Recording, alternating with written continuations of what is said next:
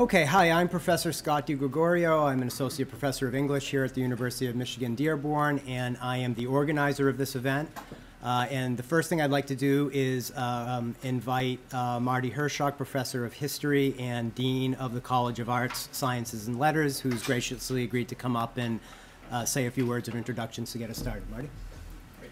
Thank you, Scott. First, I'd like to uh, uh, take a moment to thank uh, Professor S Scott DeGregorio for uh, organizing this very interesting event. So I, I would uh, uh, encourage you all to join me in thanking Scott for his, his work. Thank you all for coming out this afternoon to hear this. This is a great turnout. Um, and we welcome you to the University of Michigan at Dearborn and to the College of Arts, Sciences, and Letters. Uh, I'm particularly grateful for uh, the, the faculty and students in the first year seminar program who uh, uh were instrumental in, in putting this very interesting uh, panel together. So uh, thank you for all of your efforts. It's good to see the audience so full and a lot of interest. There are still some seats down front, so for those of you in the back, who are looking for a place to sit, please come down. Um, when I was uh, first asked to, uh, to offer a, a brief uh, welcome and introduction to this event, um, I, uh, I was um, immediately taken by uh, how uh, fortuitous it was because on my Kindle, in fact, I just pulled it up a minute ago, um, I was reading a book called Zealot the life and times of, of Jesus Christ. So, um, which I've subsequently learned has a number of, of problems. So, um, it, it, it was very, uh, very interesting to me. So, this is a topic, obviously, of, of great interest uh, for any uh, number of people and for any number of reasons. Um, and uh, what, what particularly drew me to the book that I was reading, but also to the topic of tonight's talk, uh, is thinking about uh, Jesus in, in historical context. And um, that to me is uh, a, a, very interesting exercise and I think uh, is going to be the uh, topic of some really interesting discussions this evening. So I also wanted to thank our distinguished guests for coming today to lend us their time and their expertise. I know that we are all in for a um, a particularly enlightening afternoon. And I guess without further ado, I would like to invite Scott back so that he could introduce our speakers and get the program started. And again, for those of you in the back, there still are some seats up front here if you wanted to, uh, to make your way here. Thank you. Okay, uh, yeah, there's some seats down here. Uh, Bill, if you want to grab one. There's a bunch sort of down in this area. So uh, the next order of business is to offer uh, a, a, a, good amount of sincere thanks to the sponsors for this program, First Year Seminar, and the College of Arts, Sciences, and Letters, and especially Associate Dean Alir Mateza uh, for the generous support that's made this event uh, possible. So some context here uh, for this event. This term, I'm offering a, first year seminar on Jesus and the Gospels. And for those who do not know, first year seminars are small classes developed exclusively uh, for first year students to introduce them to the serious intellectual work uh, of university education. Uh, they seek to foster critical engagement at all levels uh, thinking, reading, writing, and the hope of setting students on a path of deep uh, critical inquiry on which they'll remain during their uh, years here at UM Dearborn. And so when I began tossing around ideas uh, about a, a, topic that would meet the challenges demanded by uh, one of these seminars, it seemed to me that something on Jesus and the Gospels would be ideal. Uh, this is a big topic, and everyone has questions about it. Uh, but I want to stipulate um, right at the beginning of this event that I speak here about the historical Jesus. For it is that flesh and blood individual, a Jew who lived in Galilee in the first century CE, uh, who is the subject of my course, and more importantly, of the discussion that we're going to have here today. Uh, as many of you know, the historical Jesus has been an object of scholarly inquiry for a long time. Indeed, the object of several quests or movements in scholarship that first emerged in the 18th century and continue strong in various forms to the present day, uh, including collaborative panels like the one we're having now. So let us ask what's at stake here? And to be clear, to ask about the historical Jesus is really to ask about methodology. Uh, that is, how one uses the principles and procedures of the modern science of historiography to analyze the sources that we have about Jesus of Nazareth. So the historical Jesus, no less than the historical Socrates or the historical Alexander the Great or the historical Abe Lincoln, uh, is a construction made by historians using the typical tools of their trade in an effort to see uh, the Jesus of history in uh, the historical and cultural context in which he lived. And when I say critical tools, it's important to understand that in English that carries the connotation potentially of negative uh, carping or something, but in uh, the English word that's derived from the Greek verb krinein, it just simply means to make a reasoned judgment about something. Uh, and so that's what we're doing here today. Um, so the question of whether this historical Jesus matches the Christ of faith, that is, the Jesus of the creeds, of theological confession, of personal belief, is doubtless for many a pressing question, but it's also another matter altogether, a question for another day. The latest phase of uh, Jesus Quest research has, as far as I can tell, no unifying agenda, and it's characterized by a range of competing hypotheses. But one of its virtues, in my opinion, is a willingness to explore diverse perspectives, to break down traditional barriers, such as the divide between canonical and non canonical sources, in an effort to place Jesus in his own time and to study him in light of all relevant data. And so it's in that spirit that this panel of experts uh, in the field has come together for discussion today. And finally, I just want to emphasize the word discussion. This is not a debate. There will be no winners, no losers. This, the aim is simply to hold a conversation, uh, an exchange of scholarly viewpoints. And so now to our four speakers. Uh, we're very gratified to have them here with us today to share their erudition in the field. Um, there are four, and in the order I will introduce them, that will be the order in which they will speak. First, Gabriele Boccaccini, professor of Second Temple Judaism and Christian Origins at U of M Ann Arbor. Saeed Ahmed Khan, lecturer in Near East and Asian Studies at Wayne State University. Uh, Charles Mabee, director of Christian Studies at Oakland University. And Robert Price, author, author of uh, many books on Jesus, and whose latest, I was told on the car right here, is to be entitled uh, Killing History uh, Jesus in the no spin zone, which, if you know uh, Bill O'Reilly, you know that this is in some way going to be a response to Bill O'Reilly's uh, recent book, Killing Jesus. Lastly, the format is going to go like this. Uh, the four speakers are each going to make about a 10 to 15 minute uh, speech from the podium, one by one. There will then be a brief uh, gap where we will beg the audience's pardon for a minute while the screen goes up, and we're going to have a table uh, whisked up in, in, an instant, and so there will then sit at the table, and there'll be about 10 to 15 minutes of discussion uh, between them in a sort of roundtable fashion, and then we will open up the floor for discussion. We should have a good half an hour for that. There isn't a class in here till 7, so we don't have to be right out of this room at, at 6, so we can go a little over if need be. So without further ado, Professor Boccaccini.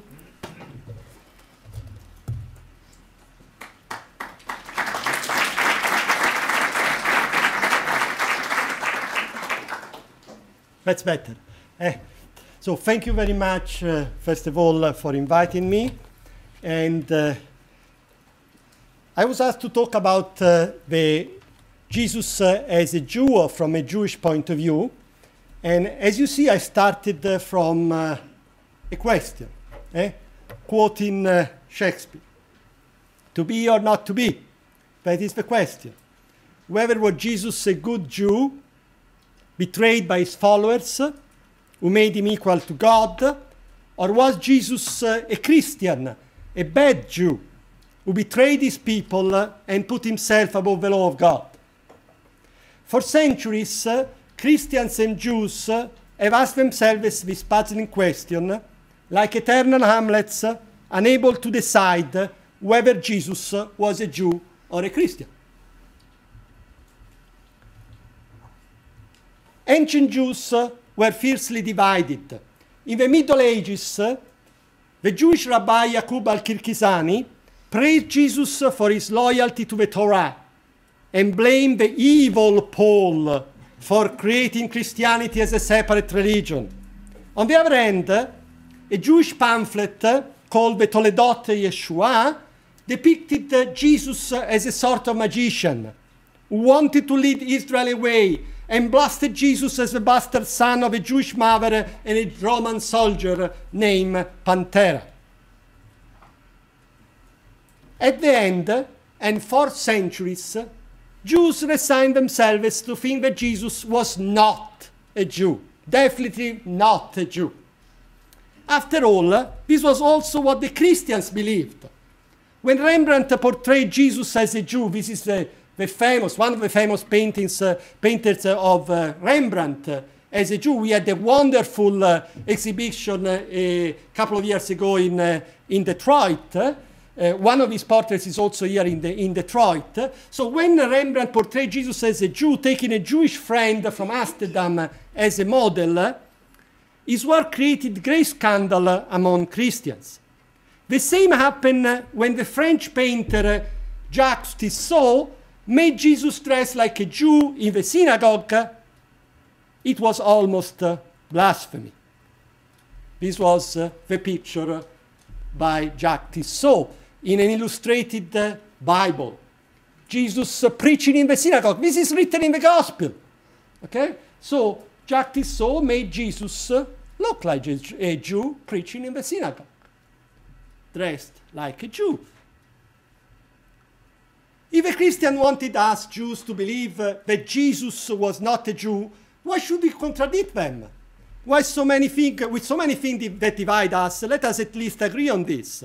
Let the Christian rejoice on their acceptance of a non-Jewish Messiah, and let us rejoice in our unshaken faithfulness to the Jewish covenant. The problem came when militant anti-Semitism began exploiting the non-Jewishness of Jesus as a way to condemn the entire Jewish people as an inferior race. Look what a nice picture we have here. What a beautiful picture. But the author is Adolf Hitler, the German dictator. You know, he was an amateurish uh, painter. Eh? I, I wish he had uh, followed that career. Uh, look uh, this beautiful, harmless uh, picture, but it's not as much harmless as you may think. This uh, Aryan Jesus, this portrait of the Virgin Mary and the child, is made purposely to appear to look as somebody who was not a Jew, because in Palestine they were not blonde hair, blue eyes uh, child children. Adolf Hitler and the Nazis promoted the idea that Jesus did not belong to the Jewish race. He was not Jewish, he was Aryan, a member of the chosen German race. Hitler even sponsored in Germany a Christian religious institute called the Institute for the Study and Eradication of Jewish Influence on Germans' religious life. You see, Hitler wanted to promote Christianity. Obviously, the Nazi Christianity. The director of the institute was a respectable Christian German theologian, Walter Grundmann. After the war, Grundmann continued his career as if nothing happened, even though the institute was active at the same time in which the Nazis were killing six million Jews around Europe, including seven members of my mother's family. But this is what Hitler and Christian theologians were doing. In those years, unfortunately, a lot of people, not only in Germany, but also here in the United States, and also here uh, in Dearborn. Dearborn, uh, one of the most notorious uh, anti-Semitic journals were published. So many people believe that Jesus could not have been possibly a Jew, as being a Jew was something less than respectable. In those years, however, many Jews began reacting by reclaiming the Jewishness of Jesus, proudly proclaiming, as the Jewish painter Marc Chagall did, that Jesus was one of us. Look at this other beautiful painting. You can admire this painting uh, not far from here in Chicago at the Museum of Art. And Jesus, you see, Jesus is uh, in a scene surrounded by his own people, by his own persecuted people. This picture was made uh, in 1938, at the beginning of the Holocaust. And Jesus lived during the Holocaust, he would have been persecuted, his house burned, and he would have been sent to Auschwitz. He, his parents, his brothers and sisters, and all his followers, from Peter to John and Paul. They were all Jews. They will be sent, they'll all be sent to Auschwitz. After the Holocaust, it was no longer possible to speak of a non-Jewish Jesus. There are indeed many things we don't know about the historical Jesus. The Gospel and later narratives have been highly embellished and mythologized. But one thing we know for sure about the historical Jesus, he was not like this. He didn't have long blonde hair and blue eyes. He was not an accidental tourist from Scandinavia visiting the Holy Land. Eh? And he was hardly a Christian, according to our standards. He never celebrated Christmas. Maybe his birthday, but I don't, I don't think so. he was born Jesus. He was not reborn in Christ. He did not receive a Christian baptism, but was circumcised. He never celebrated Easter. He died on that day. He never celebrated Easter. He never read the New Testament. He never enjoyed the letters of Paul, as we do. He but he read the Hebrew Bible. He never celebrated Sunday, but honored the, the, the Holy Shabbat. He never entered a Christian church, but went to the synagogue. Whoever Jesus was, he was born, he lived, and he died a Jew. So, who is Jesus from a Jewish point of view? An ordinary Jew, a Jew like everybody else? Not at all. Jesus had certainly some radical ideas, but if we should consider non Jewish all the Jews who have their own radical ideas, then I wonder how many Jews would be left around. Why should Jesus be treated differently than anybody else? The real question is not whether Jesus was a Jew or a Christian. This is a false question. Certainly, the historical Jesus was a Jew. The real question is what kind of Jew he was.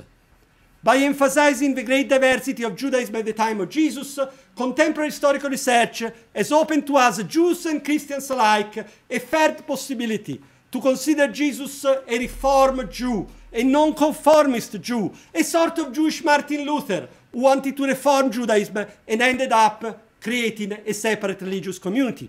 In other words, in order to say that Jesus was a Jew, Jews do no longer need to separate him from his movement, nor in order to say that Jesus was the founder of Christianity, Christians do no longer need to separate him from his people. The Gospel presents Jesus as a Jewish teacher who was baptized by John the Baptist. He was a rabbi and a miracle worker, preached to the crowds and the disciples, announced the end of times and the establishment of the kingdom of God, made a messianic self-proclamation, clashed with the leading authorities of the temple and the Romans, and was killed on the cross as an enemy of Rome. Everything fits very well on what we know about first century Judaism. From ancient Jewish sources, especially from the writings of the Jewish historian Flavius Josephus, we learn that Jesus was not the only one, not the first one, and not the last one who made the messianic claim. Even Christian sources admit that he could be compared to religious and messianic figures like Theudas or Judas the Galilean, who also made messianic claim. The more we study the figure of Jesus from a historical point of view, the more we realize that the Jewish prophet Yoshua ben Yosef, who you know can call Jesus, makes perfect sense within the diverse and vibrant world of first century Judaism, in a time in which apocalyptic expectations were particularly strong and popular. This does not solve the religious question about the authenticity of Jesus' message, but we should not ask historians to solve uh, religious problems. While Jews, Christians, and Muslims can study together the figure of Jesus from the historical point of view, as we are doing together today, the religious understanding of his role is and will remain different. Jesus presents to Jews the same problem that Muhammad presents to Christians. Jesus and Muhammad came after Moses, and Moses is for the Jews uh, the climax of revelation. However, as the great Jewish Rabbi Maimonides used to say, Jews should look at them with some sympathy, as Jesus and Muhammad contributed significantly to the spread of Jewish monotheism around the world, far beyond the boundaries of Israel. The enmity between among the three religions uh, should be turned into a competition for peace and good works, because as every Jew, including Jesus, uh, would say, at the end of the time, we will all be judged according to our deeds, not according to our beliefs. After all, if God had wanted to create one religion, God would have done so. Thank you.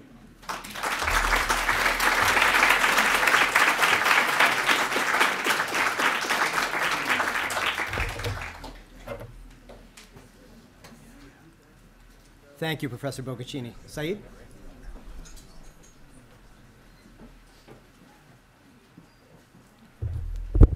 Thank you, and um, I'm, I'm overwhelmed by the, uh, by the attendance here, and I hope you realize this isn't church, so it doesn't count towards your, uh, your Sunday obligations.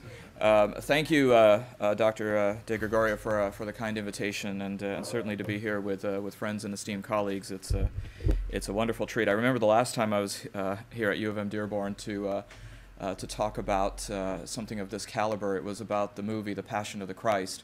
And similarly, uh, given the tensions that had arisen regarding the movie, and uh, except the only difference is this time I didn't go chronologically where Muslims usually go, which is last out of the three uh, monotheistic faiths. And so we heard from the Jewish representative, we heard from the Christian representative, and then of course I had to say, well, look, we weren't there. Uh, so.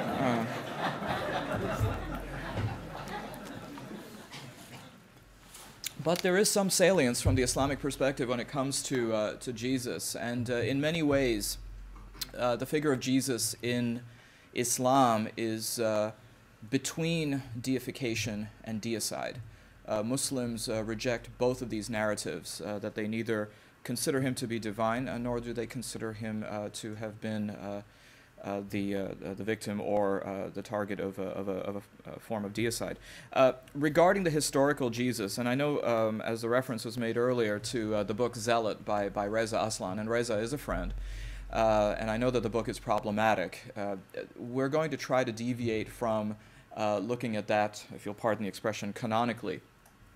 When it comes to Islam, this uh, notion of scholarly uh, archaeology, if you will, or examining the historical bona fides of, of Jesus is something that is uh, essentially not done uh, it is not really a question from within the Islamic narrative of trying to prove whether Jesus existed or not. In fact, that is already resolved within uh, the Islamic narrative. He did exist. Within the way that Muslims perceive Jesus and the way Jesus is known to them from within the Islamic narrative, it's fascinating to see the construction of uh, the holy book of Islam, the Quran, which is the source then of how one comes to Jesus, so to speak, uh, for Muslims. The Quran is not a chronological uh, uh, narrative. In fact, for anyone who has uh, uh, tried to uh, read the Quran, one realizes that it, it, it, tends to have its own coherence, it has its own strategy, it has its own logic within it. It's not a it's not a Hegelian book. It doesn't have this sort of positivistic and chronological format. But what it also then demonstrates is that the people of polytheistic Arabia were familiar with the stories of the Old and the New Testament. Because unlike the Bible, which sets up in a literary device the figures that are presented and represented in the, in the Bible, the Quran doesn't have to do this. The Quran, in fact, in speaking in the, in the verses that refer to Jesus and the family of Jesus, refer to him referentially presuming that the people of the Arabian Peninsula already have some level of cultural literacy of the stories of the Bible, which is a fascinating literary device that we find. So there isn't, therefore, the need to set up an awful lot of the construction of who Jesus was and going into a lot of the biographical details it's a wonderful way of then presenting Jesus to Muslims, but of course, uh, the opportunity cost of that is that a lot of the historical establishment that one finds in the Bible is not presented uh, in that sense. What we do know in the Quran is the genealogy of Jesus going back at least two generations. The Quran has at least two chapters or surahs that are devoted to the family of Jesus. One is a chapter referred to as Surah Maryam, an entire chapter, one out of the 114 in the Quran that are named for Mary.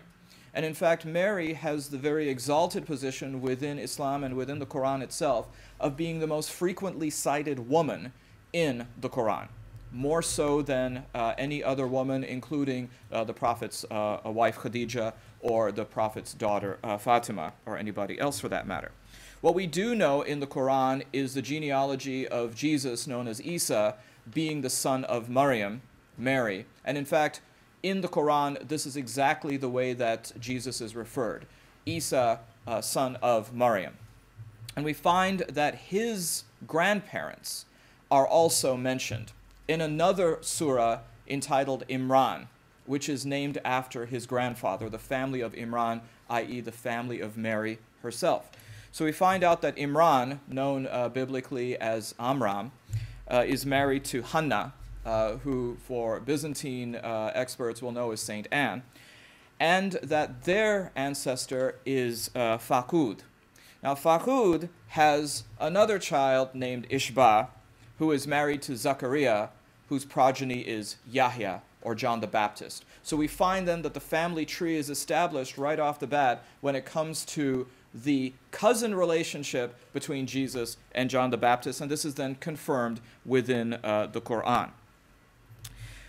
This idea then of how Jesus is presented to Muslims by reference provides both the context and the continuity of how within Islam Jesus is one of a series of prophets dating all the way back to Adam himself, the original son of man, and then continuing through, including uh, such names which would be familiar to those uh, scholars and students of the Bible, including Noah, including Abraham, uh, Isaac, Ishmael, Jacob, Joseph, Moses, uh, some prophets that are not named in the Bible, uh, and then also including from the New Testament Jesus and uh, John the Baptist, both of whom are considered to be great prophets within the religion. And the level of respect that is conferred upon Jesus in Muslim discourse is the same as how it is to Muhammad.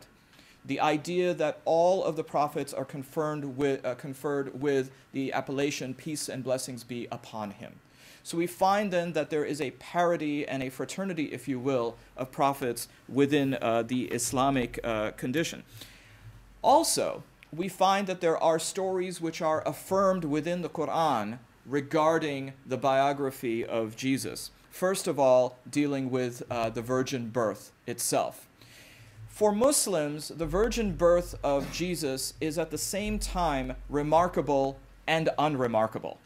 And let me explain to you the contradiction in terms. It is remarkable because, after all, a virgin birth, by definition, it tends to be remarkable. But at the same time, among prophets, it is not considered to be remarkable because, after all, Adam himself was born in a remarkable way.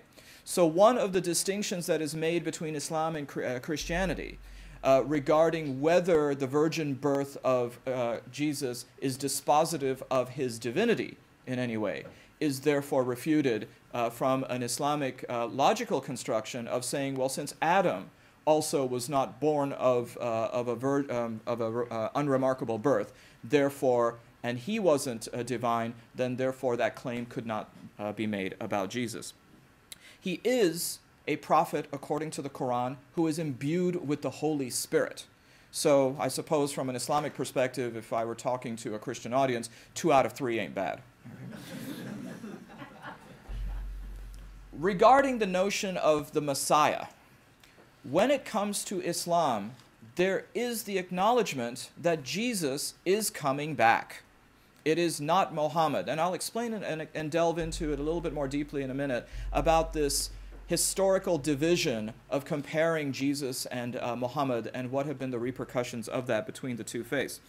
According to Islam, at the end times, when things get bad, or some of you who are pessimistic will say get worse, uh, we'll find then that Jesus will return and will be partnered with the Mahdi, who in Islamic terminology is somebody who will also help to bring about and usher in an era of peace and prosperity on earth.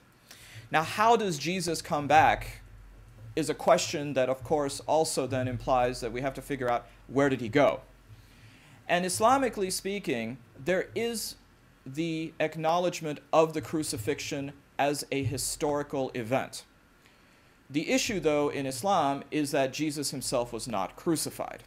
And in the Quran, it says that they say, and you have to love the generic they because it's a term that we also like to use.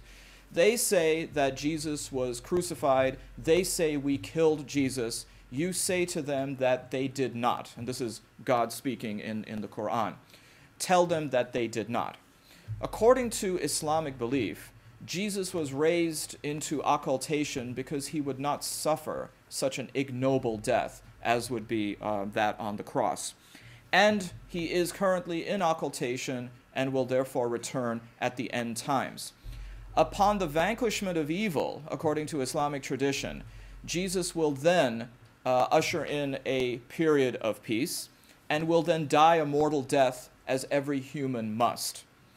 According to Islamic tradition, he will be buried next to the Prophet Muhammad and the Prophet's companions at the mosque in Medina. And in fact, there is one empty grave that is, by tradition, left empty. We find that when it comes to the message of Jesus, this is something that was not contradicted by Muhammad.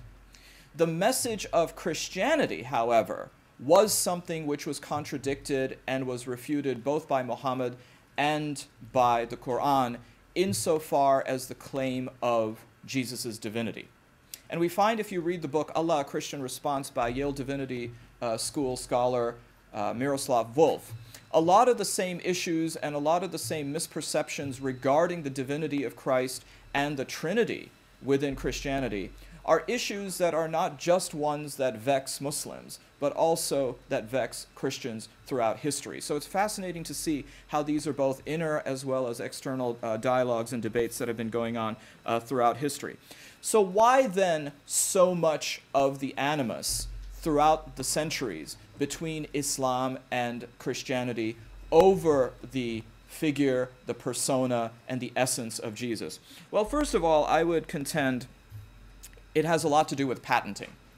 Uh, Jesus has been patented by Christianity, uh, particularly when it comes to the issue of divinity. And unfortunately, also, Muhammad has been patented by Muslims, uh, quite contrary to the idea that both of these historical figures were meant to be very universalistic in their reach. But a lot of it also has to do with the political dimensions which began with the earliest encounters of Islam and Christianity. After all, only three years after the Prophet's death in 635, Muslim armies from the Arabian Peninsula leave the peninsula and capture Damascus. Three years later, they capture Jerusalem, both of which were parts of the Byzantine Empire.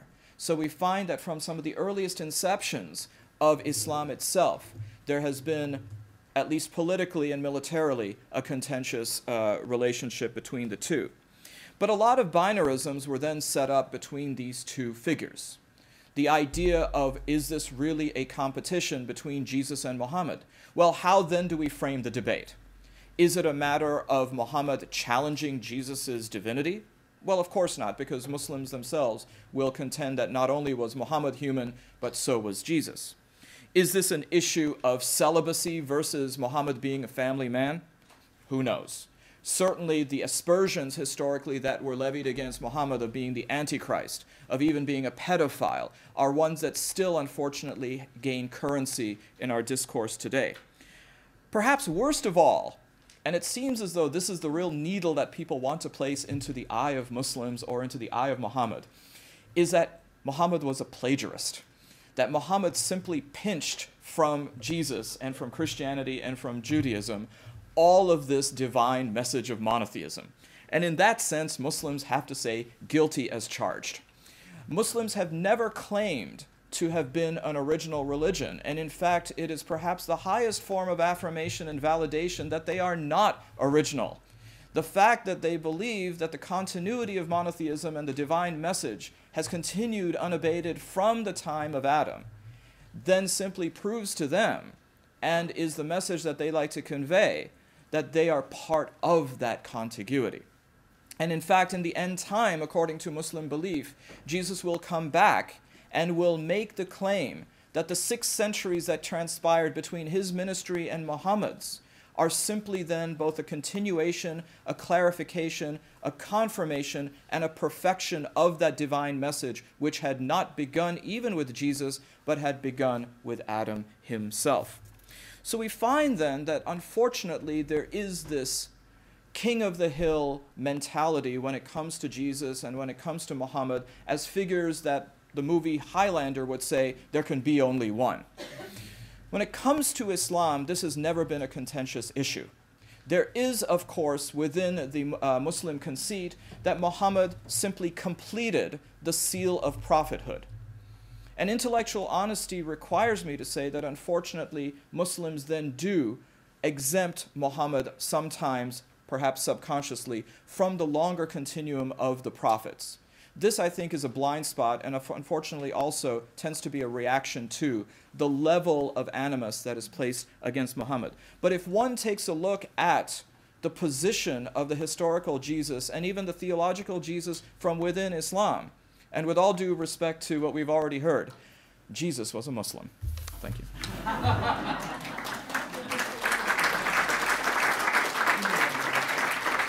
you, Professor Khan. Professor Mabee?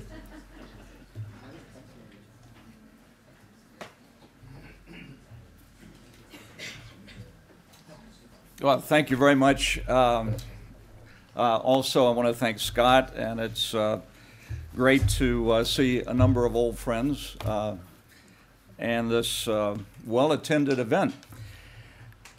Uh, several years ago, we had a debate at, at Oakland University um, around the role of religious studies in a state university. And on the panel was a gentleman who's on the faculty who argued, why do we need religion? We got churches on every corner. Uh, well, you know, uh, it's easy to dismiss that argument or disagree with that argument. Uh, but I wanted, I want to take his challenge seriously and to fold that into the topic that we're talking about today. It's, it's an authentic question. We got churches everywhere. I don't really have to tell you what the Christian view, unlike Saeed maybe, who has to explain uh, more in our culture uh, of the Islamic view. The Christian view is fairly well known in our parts of the world. Um, but our, I would argue that, that the university, and we sort of hopefully represent that here, and certainly in terms of setting we do, represents a sacred space.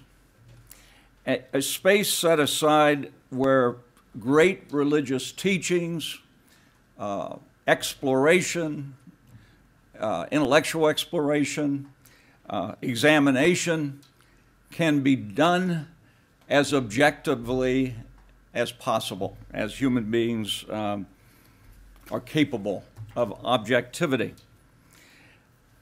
So the perspective I'm coming from is not simply the Christian Jesus. Again, that uh, view of Jesus is pretty ubiquitous, uh, readily available on most street corners uh, in our society. Um, but I'm, I'm really interested, and speaking out of the Christian tradition, but I'm interested in the Jesus that predates the rise of historical consciousness in the, in the academy. For science which informs so much of our study, historical study, at least methodologically, uh, cannot capture the Jesus of faith. And that's really the argument that I want to make uh, primarily uh, to you in this setting. Uh, we, we basically, as Scott said in the beginning, have a methodological issue before us when we look at this figure of Jesus. And the methodological issue is from a scientific standpoint. What do we believe? Who do we believe? What sources do we, do we believe? Uh, how do we evaluate sources from the, from the ancient world, from the past? Were these sources friendly to the church? Were these, were these sources hostile to the church? Um, corroborative sources, such as the Gospels, um, from a historical standpoint, are problematic. They have an axe to grind. Whether you, you buy the axe or you buy the grind or what, they have a tendentious point that they want to make. And from a historical standpoint, the way history works in the academy, those sources are not as reliable as more what we might call metaphorically hostile witnesses. If, if you have the support of a hostile witness, that's worth a lot more than a corroborative witness. Uh, by the way, how many gospels were there? Um, and, uh, you know, it's an interesting question, and I, I did have an opportunity earlier uh, in my career to participate uh, on the on the sideline of the Jesus Seminar, and some of you have uh, heard of, probably of the Jesus Seminar. And uh, I remember hearing Bob Funk, who who founded uh, Westar Institute, that sponsored the Jesus Seminar, that wanted to get back to the historical Jesus. He said, "I'm going to call the book the Five Gospels." And some of you, if you've studied this topic, know of this book published by the Jesus Seminar, The Five Gospels? Well, right there, you've said a lot. Because if you go back to your King James Bible and count them, you'll only find four. well, his point was it was kind of in your face, and he was kind of an in your face sort of guy. Um, his point was there were not only were there things in the Gospels that, that were attributed to Jesus, and we have, we being historians, have come to believe were attributed to Jesus. He didn't say them historically. Um, but there are things in the Gospel of Thomas that didn't make it into the New Testament that Jesus actually did say. Therefore, the five Gospels. The five Gospels being the New Testament of the academy, not the New Testament of the church. I remember, um, and I hope I can uh, cite you, you uh, will forgive me if I misrepresent something, but I was in dialogue informally at one point with um, an Islamic uh, gentleman. It was not a, it was not an imam. It was, uh, he was a businessman, and we were talking. I can't remember literally what, what the event was. And he said something about the gospel. And uh, I was kind of quizzical because, again, my King James Version has four gospels. And he said, the gospel. And I said, well, what, what do you mean exactly by the gospel? And he said, you know, the, the original, the one before it was corrupted into four.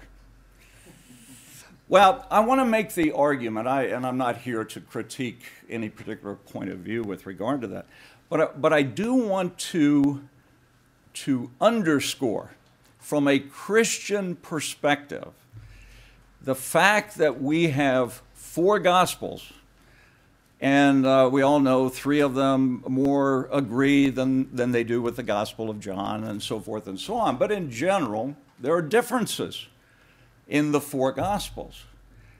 I see that, and, and from a historical point of view, and from a Christian point of view, I see that as a positive, not a negative. And uh, recently I've become interested in uh, game theory of all things. And uh, interesting in economics, game theory, we, we sort of, particularly in interfaith dialogue, have a presupposition that if we can agree on things, that that's good. But you know what? Agreement in economic theory is sometimes called collusion. And a good, healthy economic system em- embodies within it competition as well as collaboration. There was competition in the early church from the beginning of who Jesus was. And that, I would maintain, was not a bad thing, that this was a healthy thing. Uh, obviously, within a framework of accepting certain ground rules or game rules uh, of, of, the situation. Well, in terms of, um, I'll try to finish this up because I know we don't have that much time. Uh, you know, I could, I could read to you the Nicene Creed to give you the traditional Christian understanding of Jesus.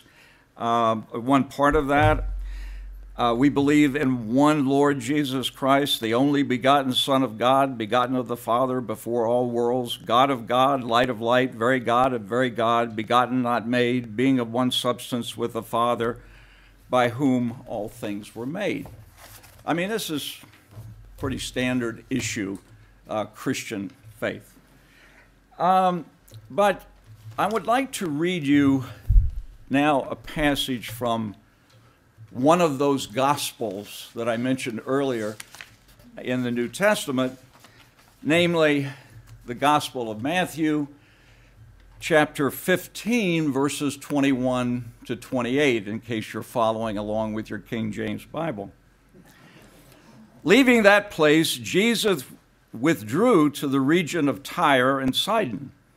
A Canaanite woman from that vicinity came to him, crying out, Lord, son of David, have mercy on me.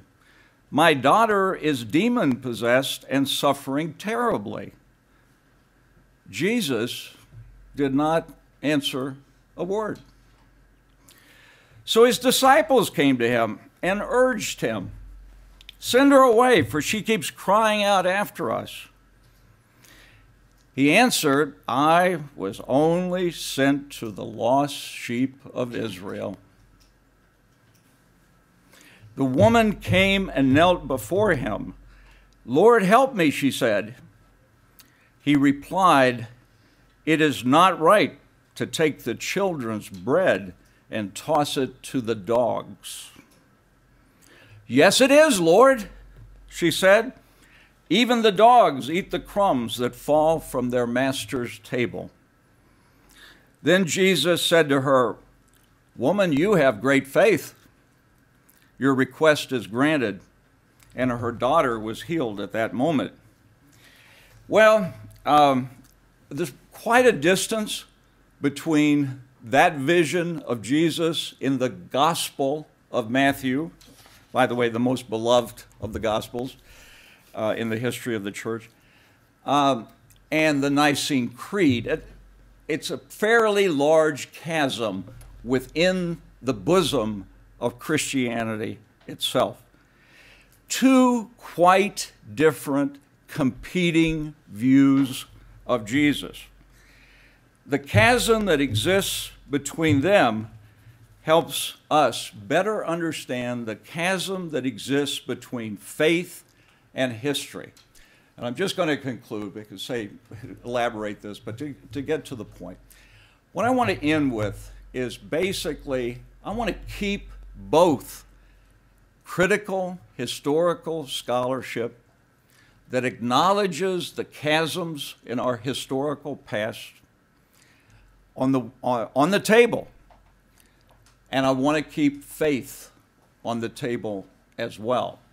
But what I don't want to do is to, to, is to collapse those two things and pretend that they're one and the same.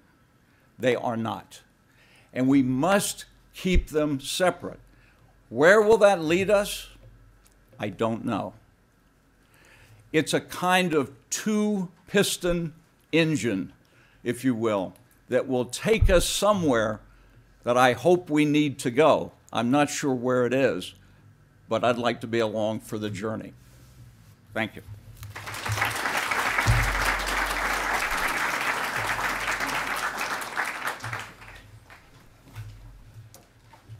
Thank you, Professor Mabee. Our final speaker, Bob Price.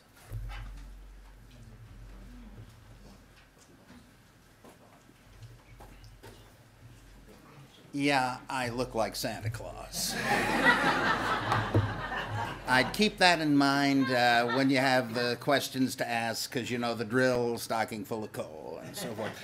Um, you know, the, uh, the, the various things here I just got a comment on. So interesting. The uh, misunderstanding of Islamic uh, views of Jesus in the West is staggering. I remember once a seminary, a New Testament professor in a seminary class, uh, was asked by a, a young guy that wanted to become a, a, Christian missionary to Muslims. He says, How do you explain the virgin birth of Jesus to a Muslim? And the professor said, Well, that is a tough one. I thought, What the hell? Muslims believe in the virgin birth of Jesus.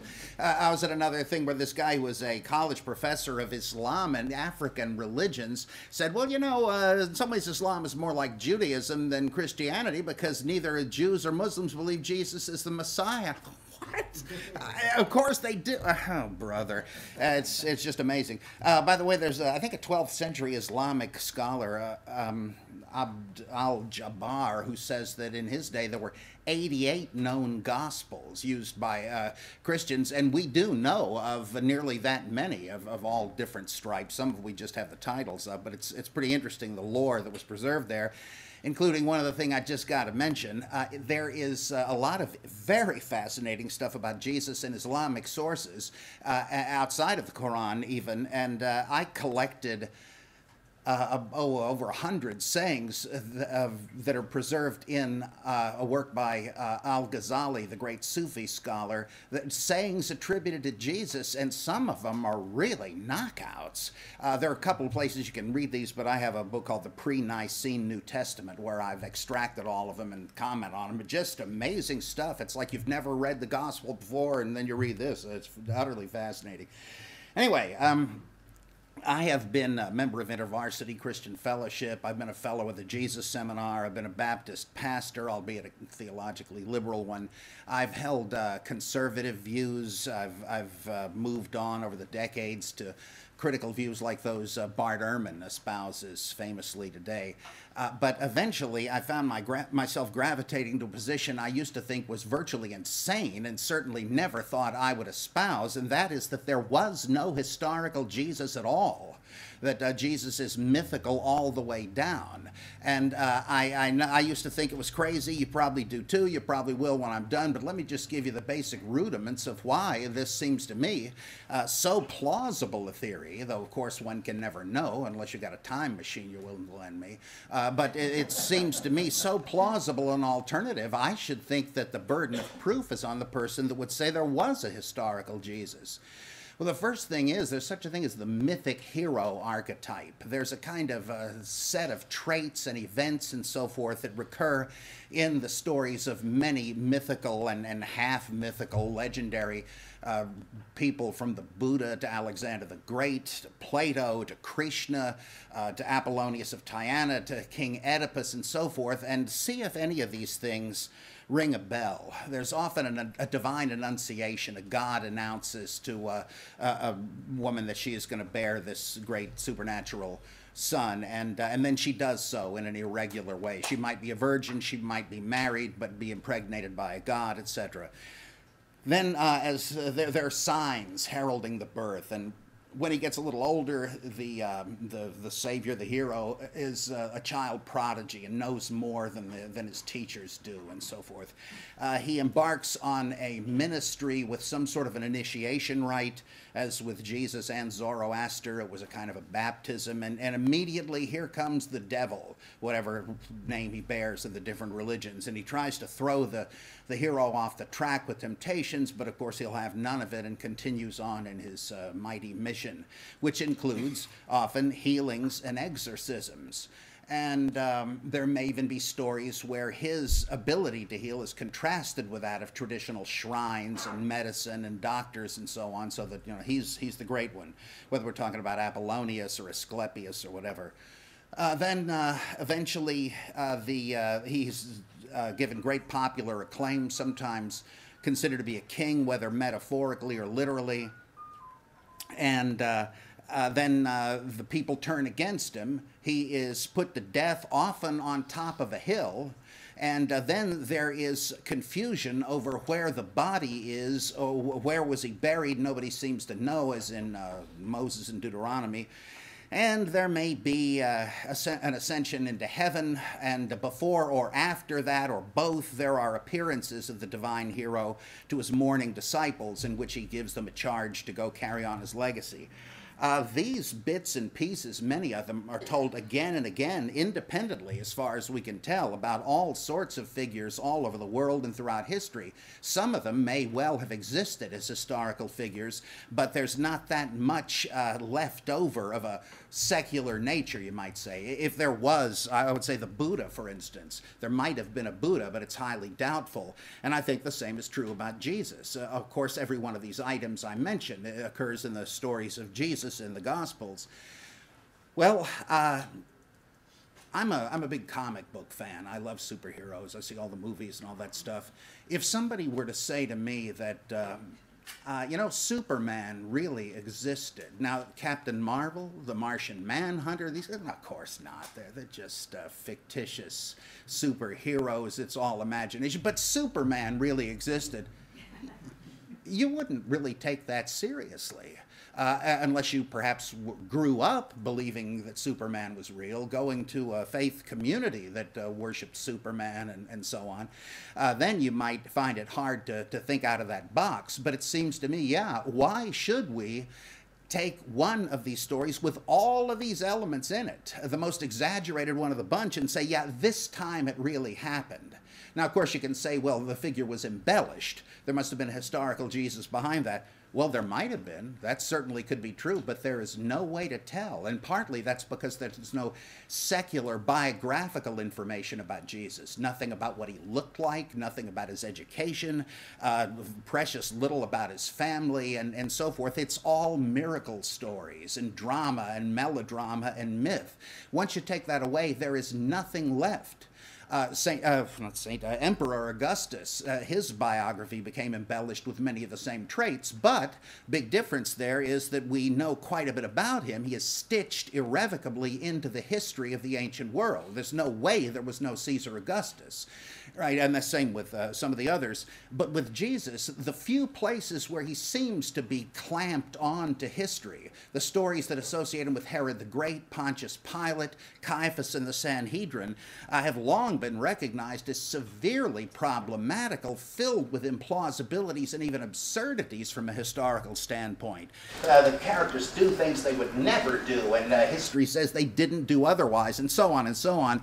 It begins to look to me, and of course, I don't know this, right? And I don't care what you think of it, but just explaining the so called mythicist view, it seems to me this represents an attempt to anchor an originally purely mythic, purely divine Jesus into history, and that for institutional reasons, as there was more and more competition between Gnostic and Marcionite and other uh, early Christian groups, and people had revelations from the heavenly Christ left and right. One party decided, no, to under undercut this to secure our authority. We have to posit that there was an our founder, a guy that actually started this in recent history and appointed the guys who trained and appointed our leaders as their successors. It seems to me it's, in other words, no, uh, no problem to imagine how and why a mythical Jesus was transformed somewhere along the line, and who knows, uh, into uh, an ostensible historical figure. Uh, quickly, just um, another thing. When you look at the sayings and the stories in the canonical Gospels, uh, and the Jesus seminars, you know, pointed out, uh, they finally voted after years of debate on this, and this doesn't mean what they came up with was true. Obviously, I, I don't, I don't hold to a nose count epistemology. I mean, you know, two million Mustang owners can be wrong, right?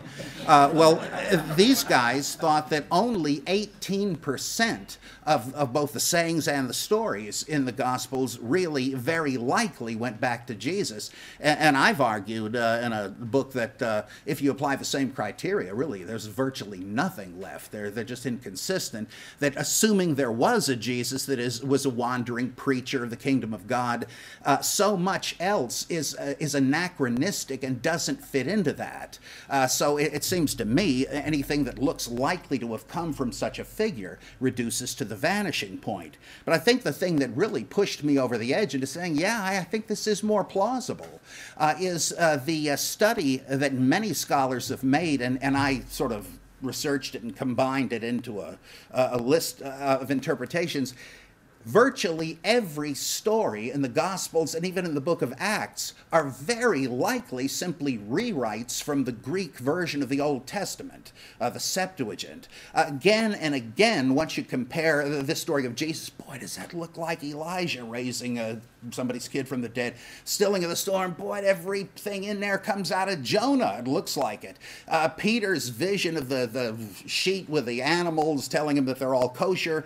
This looks so much like a vision out of Ezekiel, and so on and so on. I was shocked. I mean, I hadn't thought of this before, except in a very few cases. Virtually everything, I, I think, except the rich young ruler story. I don't know where they got that. But virtually every one of them looks like a, a rewrite from the. Uh, from the Septuagint. And then you have to ask yourself as a historian, what is more likely? That a guy was born of a virgin, uh, healed all these people effortlessly, again, as if it were Superman doing it. Sure, I'll heal you. Sure, I'll raise your uh, son from the dead. Uh, it, it, that uh, that he, he rose from the dead and ascended into heaven, changed water into wine. What's more likely? Somebody really did this, or early Christians rewrote famous stories? I mean, what are the chances? What's the, the more likely uh, uh, explanation? Now, one can say, well, it's certainly it's likely that he could have done these things and did if he was the Son of God. But you see, that's circular and deductive.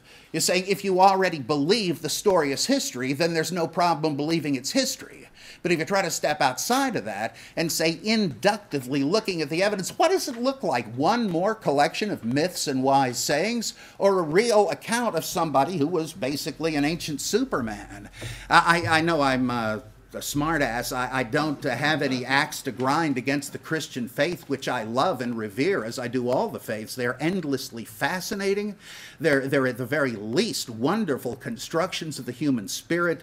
I'm not some sort of village atheist. I, I despise that approach. Uh, uh, these, I call them uh, Westboro atheists that try to get rid of Christmas. I hate that stuff. Uh, I, I uh, don't have a dog in that race, uh, but I don't really have a God in that race either. I realized from my Christian upbringing I have to uh, seek the truth no matter what the sacrifice. I learned that from the Bible and the church. And I was very surprised to come to a crossroads where I felt like to be consistent, I'm going to have to choose between faith and the Bible and being intellectually honest. I know there are many others that uh, don't uh, think it's a matter of that. I'm not trying to convince you that I'm right, but this is a perspective one seldom hears, or at least hears fairly presented. And so it seems to me it is quite likely that there was no historical Jesus and that it is uh, easy to explain the origin of Christianity without one. There's uh, the Mithraic religion was once the great world religion of the Roman Empire. Mithras, the savior, never existed. Uh, there's a lot of Hindus that believe in Krishna, an incarnation of Vishnu, but there's no way Krishna ever existed.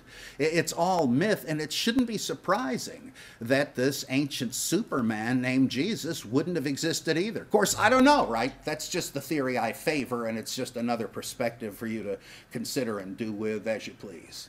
So thanks for having me.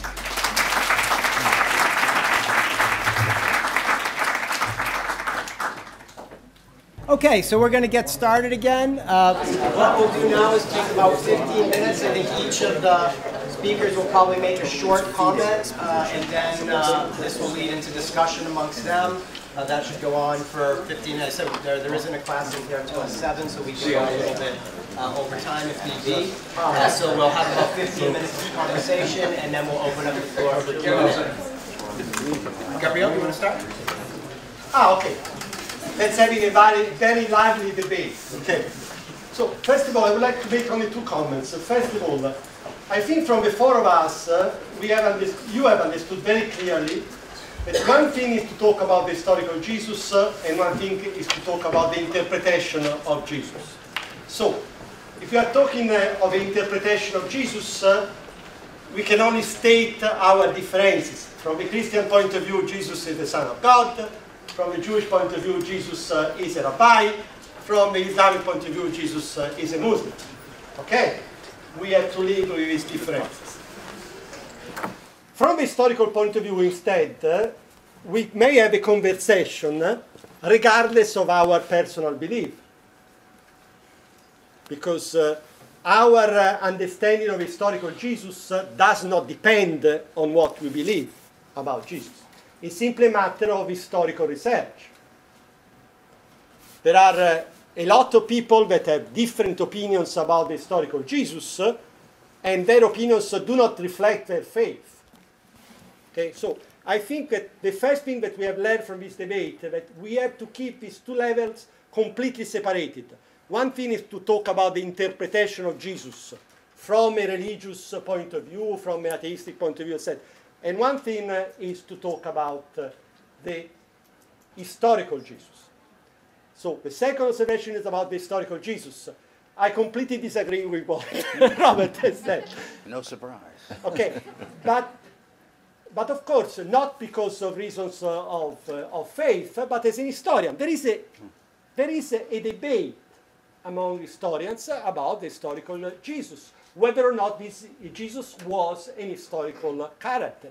You may be surprised, but personally, I'm more prepared to admit that Moses never existed than to admit that Jesus never existed. You may find it a paradox, but this is, uh, as an historian, uh, is what I have to tell you. Because uh, while I agree, for instance, that we don't have uh, a lot of evidence uh, or that Moses existed as an historical character, as an historian, I believe that the evidence that Jesus existed as an historical character is not a very strong, is overwhelming. This is my opinion. Uh, of course, uh, I, I'm, I'm glad that I am the majority because this is the majority opinion of, of scholars uh, on the historical Jesus. uh, but the fact that you are in the majority it doesn't mean that you are right. Okay? Why I'm saying that the historical Jesus uh, is that Jesus was an historical character? First of all, because uh, I believe I agree perfectly with you on one thing that the way in which the narrative, the gospel narrative, are constructed is largely mythical. That's true. Whoever wrote the Gospels uh, took a lot of suggestions uh, from uh, uh, myth, ancient myth, and uh, ancient biblical stories. So I perfectly agree on the fact that if you read the Gospel, you have to keep in mind that these are not uh, words of eyewitnesses, are not words of a journalist. It's not a work of, of somebody that was super partes. I mean, these are narratives written by people who wanted to preach the gospel. And they built a narrative with myths. Nevertheless, I think, this is our disagreement, I think that uh, what we can infer from these narratives, from the historical point of view, is more than sufficient uh, to sustain the idea that Jesus uh, was a Jewish preacher who lived in the first century. Why? Because the figure of a Jewish preacher in the first century, preaching the coming of the kingdom of God, proclaiming to be the Messiah, fits very well, it's not anachronistic, fits very well with what we know about first century Judaism. Because Flavius Josephus uh, is offering description of many other people that did many things similar to Jesus. The second reason is this. If 50 years after the death of Jesus, I want uh, to create a mythical character, I do not create stories uh, that contradict my point of view. The gospel narratives are full of stories like the fact that Jesus was baptized by John the Baptist, of the theology of the Son of Man that nobody could understand anymore. eh? Why a person that is creating a myth about Jesus eh, is creating stories that his readers eh, could not even understand? So it means that there was some traditional material that these people were using, some earlier material. And because the distance is only 50 years, this early material goes back to Jesus himself. Uh, I think that is circular because if Jesus was a myth, the bottom drops out of it, and you can't say 50 years after. 50 years after what? Uh, if, if Jesus was another Osiris or, or something. So the, the timeline is a function of accepting the story as history, so I think that's circular. Plus, this criterion of, uh, of embarrassment, as it's sometimes called. Like, why would you have a story that embarrassed later Christians? Oh man, Jesus was baptized by John. The John sect is making a lot out of that. I wish it hadn't happened that way. Well, uh, what was offensive to one generation hadn't necessarily been to a previous one. Uh, so the fact that, uh, that certain vestiges and fossils appear in the Gospels that are uh, like taken from Mark and in Matthew, and he changes them. That doesn't mean they had to be uh, history. It's just that this was an earlier form of faith. I mean, it, we can't be sure that it was not more than an earlier form of faith. Like there are. Uh, there are various, I can think of at least three from Acts and Romans, statements about how Jesus became the Son of God as of his resurrection. Well, that sure doesn't fit the predominant view as it later emerges, but you see, that's not a question of history. Uh, whether Jesus was adopted as the Son of God at some subsequent point or was virgin born or whatever, you're talking about clashing faiths about Jesus. Uh, so it's, it's just, it need be no more than stages of development of the Christian theology or the Christian myth. Uh, uh, sorry, one only thing to clarify. To say that something is historical in Jesus, uh, I don't want to say that everything that is written in the Gospel uh, is historical. Of, of course, I, I don't want to Right. be misunderstood. Sorry. Um, okay, I appreciate the NSA providing these uh, microphones for us. Uh, this is uh, this is a wonderful event. I, I want to uh, congratulate you and uh, just the vitality and the interest. This is what religion really should be doing, right? You know, around the world, rather than uh, shooting at each other or whatever. Uh, I thought one of the most interesting um, statements made. Um, uh, today was uh, my friend Saeed, who said that Islam does not claim originality. I thought this, this is really interesting. I'd never heard that before. It, of course, makes perfect sense within the context that, that he laid that out. Um, I think much could be said about Jesus as well.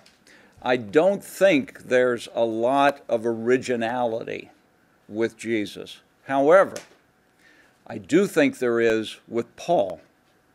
And that's the interesting question. The real question that, uh, that, that, that, we ha- that we need to get to, and the kind of silent partner at the table uh, in this discussion, our colleague or whatever, is really Paul, because Paul was an original thinker.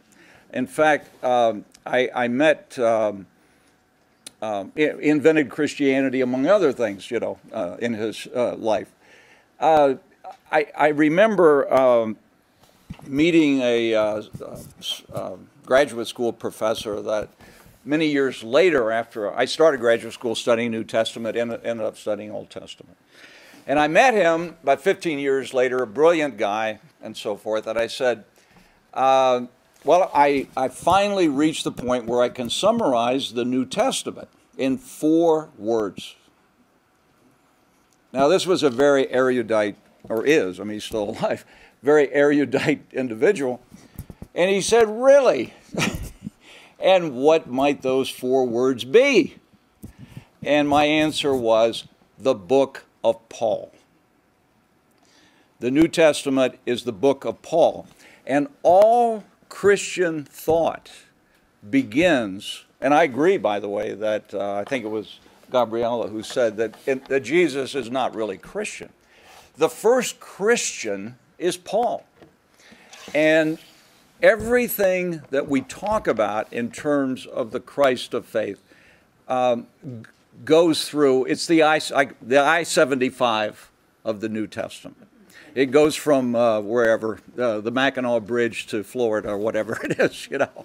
It's the spinal column. And if you really want to understand what's going on in the New Testament and the portrayal of Jesus in the New Testament, begin your studies with Paul. Um, the, I'm going to throw out one other just tidbit. I'm not going to follow this one up. I've never said this, I don't think I've ever said this publicly. But, you know, it's an interesting little fact that I think has more significance than than uh, than you, than uh, than you average than you would think of in an average uh, conversation about these these matters. The New Testament doesn't claim that Jesus was the Messiah. The New Testament was written in Greek. It claims that he was the Christ. Now, the assumption is that Christ and, and Messiah, you know, they're the same thing. But it's, you know, if you study language, um, no two languages are exactly the same. And I think it's that it's, uh, I mean, it's understandable that, you know, that this was picked up, but I think it's worth exploring. What does this mean that Jesus was the Christ uh, rather than the Messiah? Uh, thank you. Uh, I, again, I, I, want to really uh, uh, thank the organizers of this, this event. And as I was telling Charles, I'll be perplexed on my drive home uh, with, with a lot of what I've, what I've heard today and, and really processing these things. Uh, and I also want to uh, uh express my bittersweet uh, uh, acknowledgement that um, my streak is broken for being the, the most perceived problematic member of a panel. so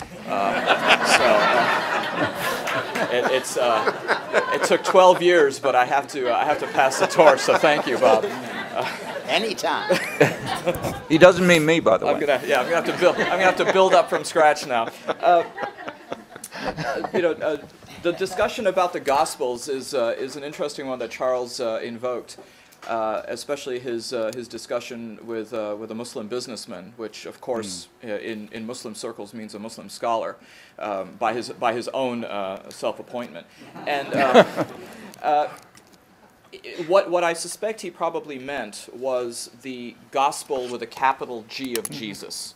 That there is a, um, a pristine, uh, perfected gospel that, that, that exists uh, that had been adulterated either by linguistic construction or by uh, political or other illicit manipulation. So he was saying mm -hmm. that there mm-hmm. this, this, mm-hmm. this pure one that's out there. Mm -hmm. And, and regarding um, Ghazali, uh, well, not Ghazali, but uh, uh Al Jabari, and the 88 uh, uh, Gospels. You poll any Muslim, and he or she will say that their favorite gospel, with a small g in this sense compared to the gospel of Jesus, is the gospel of Barnabas. Yep. Because in the gospel of Barnabas, uh, you know, one of the apocryphal uh, uh, gospels, uh, it says that Jesus names someone who will come after him uh, with the phrase uh, the praiseworthy or hamd, which is, of course, then a derivative of the word Ahmed, which of course itself is an abbreviated form of Muhammad, the praiseworthy. So uh, the Gospel of Barnabas is uh, next to a copy of Gideon's because we get them free, uh, something that you'll probably find in many Muslim libraries uh, if you were to, to visit. So I think that that's really fascinating about, uh, about the Gospel of Barnabas. I think it's also important, though, to recognize, since this is a con uh, conversation about history, and particularly, as, as, as you said, Scott, about methodology, Jesus comes to Islam through what Muslims perceive to be and what Muslims believe to be with their faith the inerrancy of the Quran. So I suppose in that sense they would be guilty of this circuitous argument of saying, well, if the Quran says it and if God wrote the Quran, then therefore it has to be true. Uh, and also the veracity that they place in Muhammad himself as being one who recounts these stories. But it's also important to recognize that Jesus comes to Arabia, and an Arabia which is at the time still a dominant uh, pagan Arabia, through secondary sources, through the hearsay of narratives, either because of the commercial intercourse on the western side of the Arabian Peninsula and stories uh, being recounted I mean, this is in the days, of course, before social media, as we understand it, uh, and technology, that people would actually talk to one another in more than 140 characters when they were uh, when they were coming through on caravan trades. These stories became known, and these stories became presumed to be true as historical accounts. And it's also important to recognize that this was a society which was, by large, an oral tradition society. So the idea of being able to go into the archives, into the scrolls, and into the quote unquote primary texts simply wouldn't occur. And so, methodologically speaking, um, one has to defer to uh, this being the way that stories and history would have been passed uh, mm. along uh, through the generations at that time. So. Further comments, guys, or? Uh, there's one thing I can't resist pointing out. Uh, I had this really unusual church some years ago, uh, and uh, on Trinity Sunday, we had the local Muslim imam come in. Uh, on, on, of course, on Reformation Sunday, we had a Catholic monk come in, so we always wanted to be in dialogue. Well, uh, I really blew the imam's mind by having a liturgical reading from the Gospel of Barnabas. Uh, he's, he was about to say how Christians don't know about this book. Well, except for you. Uh, it's a, yeah, it's a fascinating work, that's for Yeah. sure. Oh yeah, I'm sorry. I wanted a, the punchline of this was I'm going senile. Uh, I love this. The I preached on this once. That's what I was thinking. Uh, that uh, I love the picture of the church, quote unquote, the following of Jesus in the story of Peter's confession, where it presupposes that loads of people are following Jesus and love Jesus, and Jesus has not been teaching them anything about who he is because he says. Um, who do people say that I am? He knows that the disciples have more immediate contact with the crowd. Well, some say you're John the Baptist raised from the dead. Others think you're Elijah or one of the other biblical prophets. And uh, then he says, Well, how about you? What do you say? And uh, he says, You are Peter says, You are the Christ. We don't know if the other ones would have said the same thing. But we always think, Well, yeah, it's leading up to uh, the right answer from Peter, which I guess it is. But I think, Wait just a second. How about if those who are interested in Jesus could go back to that pre Peter punchline uh, stage and say, oh, we got all kinds of ideas about who Jesus is or was, etc. Uh, Jesus Christ, Jesus Christ, who are you? What have you sacrificed? As Scripture says, uh, and uh, that that I think is like a post or pre dogmatic view. Why why do you have to be? Uh, straight jacketed or, or divided by theologies. If you think there's something magnetic and, and, uh, and striking about Jesus, um, that's, that ought to be enough. So we understood that there are people that say because something in the gospel is true, everything should be true. Then we have people that say because something in the gospel is certainly wrong, everything should be wrong. And then uh, there are the people that, in my opinion, are uh, more right, like myself. that they say that the truth is in, in, uh, in between. Okay? That not everything that is written in the gospel uh, is accurate from the historical point of view. But this is, doesn't, doesn't mean that everything that is written in the gospel uh, is necessarily uh, non-accurate from the historical point of view. And the task of historian is exactly to divide what is historically accurate and what is not, exactly as the Son of Man goes with the sheep and the goats. Okay, well, why don't we um, turn now to some questions? And uh, since I'm the organizer, I get one that I get to ask. And so let's start with that uh, quickly. So, uh, one of the things that's interesting, uh, certainly in the course that I'm teaching and other courses that I have taught, and this is a comment really for the whole panel, is that as as people know, one of the things that's so fascinating about the historical Jesus today, if you go into any bookstore, you can see this, is that there are so many different theories about what he was like. You can read about Jesus as a healer, uh, as an exorcist, uh, as uh, uh, Dean Hershock uh, said in referencing the new book Zealot, uh, Jesus is a political revolutionary, certainly an idea that does not start with uh, this new book, but really has very deep roots. Jesus as a community organizer, and so on and so forth. And so I, I wanted to ask the panel: Do uh, how would you process it? Do, do any of these portraits strike uh, the panel historically as more plausible than the next? Um, how would how would students or, or anyone in sort of grappling with all of these different pictures of Jesus that are presented to us uh, by uh, mainstream and, and popular scholarship, um, can they be reconciled, or what would be your take on that?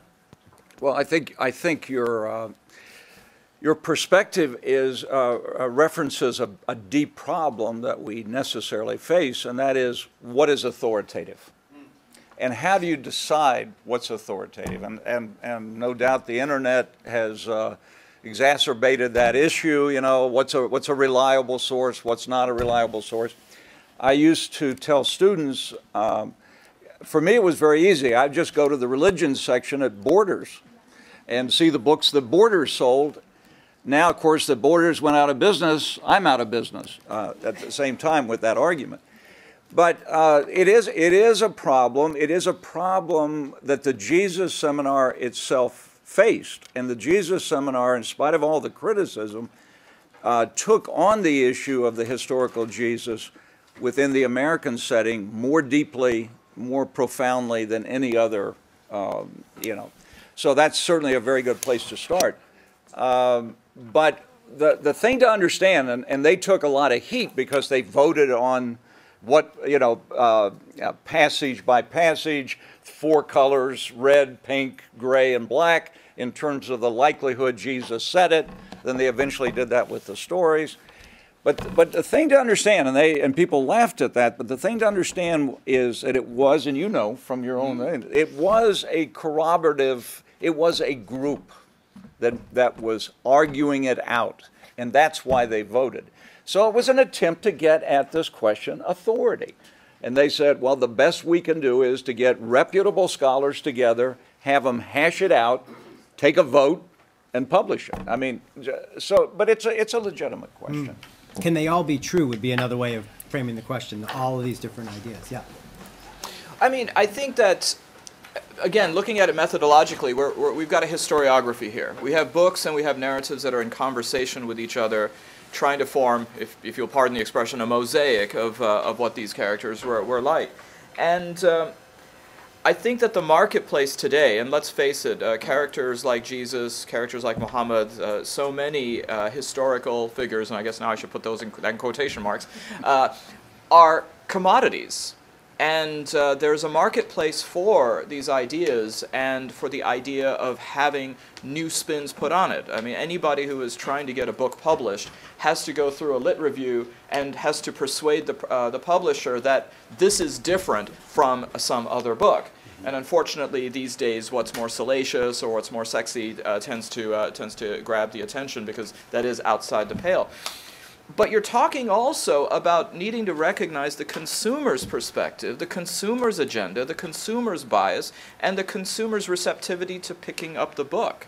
And I think it's more of a matter of causality that our scholars or our lay people writing these books because this is a research area that truly interests them, or they find that this is an area that there is a niche market that they can then exploit. The other thing, I think, when it comes to asking how many of these things are true, Scott, is again looking at the consumer. Is the consumer trying to find absolutes and definitive rulings from figures that have a religious aspect to them, like Jesus, like Muhammad, etc. When most of the work that has been provided by these people has been in the form of allegory, abstracts, or abstractions, parables, and, uh, and platitudes. And yet, we as a society seem to have such a low uh, uh, threshold for uh, for these kinds of devices. We're looking for things that are specific. We're looking for exactitudes. We're looking for certitudes. And we're looking for somebody else to tell us these things in 140 characters or less. And therefore, we're looking for books that will provide the angle of Jesus the economist, Jesus the neoliberal, Jesus the capitalist, Jesus the globalist. Uh, and, and, and equally, we find this even within Islamic uh, narratives. Um, you know, the, the late, great uh, a Marxist Jewish uh, uh, scholar, Maxime Rodinson, uh, wrote a book on a biography on, on the Prophet.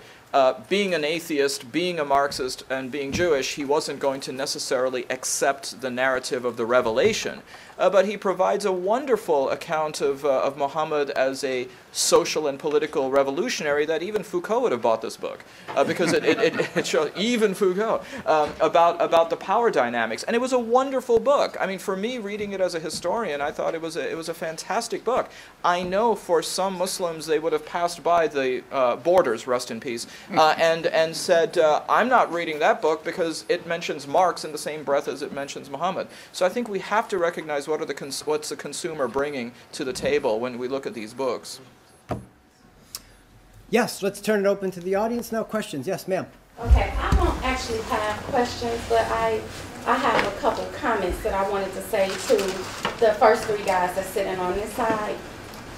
First, I'm a little bit irritated that the guy that looks like the Santa Claus that you would say that that Jesus did not exist, he wasn't historical and all of that that was kind of irritating to me because if you go back, if you say you read and you, you read the, the um, New Testament and the Old Testament, it, it has um, accurate that they were saying that they didn't say um, the Messiah, they said the Savior was going to be coming.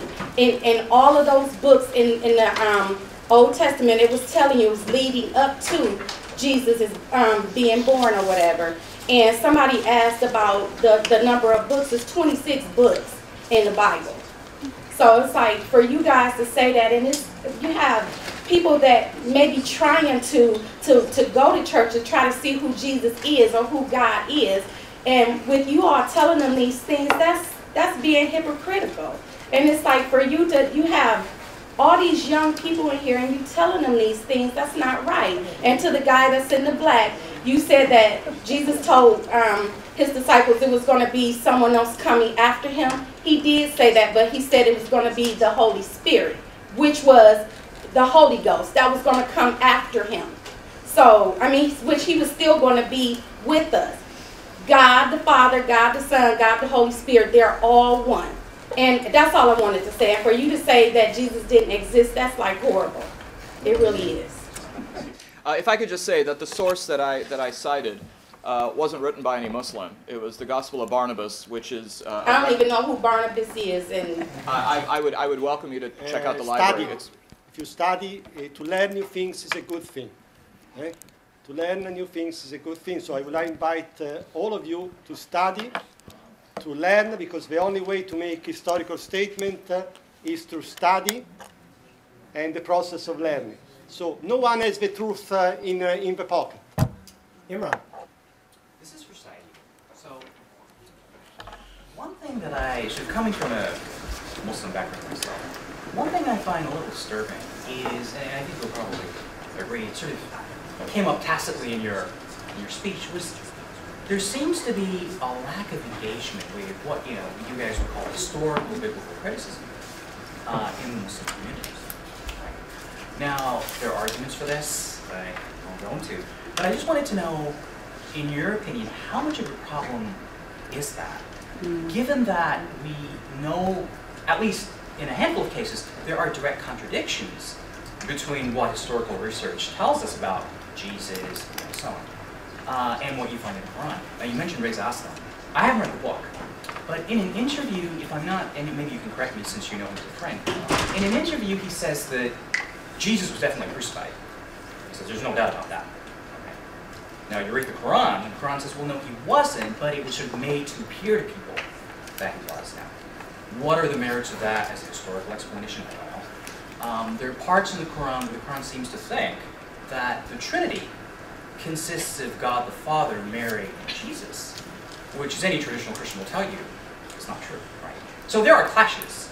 How disturbed do you think a Muslim should be when you have these contradictions between, between history and what the Quran tells us? Well, I mean, I, th- I think that's a great question, and, and I think it shows what, what Charles was uh, was describing in his talk is uh, is a chasm, uh, perhaps more irreconcilable uh, between faith and history than there is a chasm between ostensibly Christianity and Islam.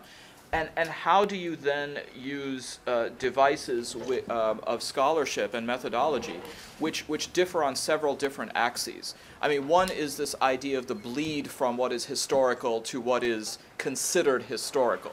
And, and as any, any academic will tell you, that uh, you go far back enough, and particularly when you're dealing with oral traditions, things are starting to get murky uh, when it comes to the veracity and, and the, uh, the chain of transmission and, and the authenticity and the authority of these sources. So you've got that, that, that, that is in, um, in, embedded in it.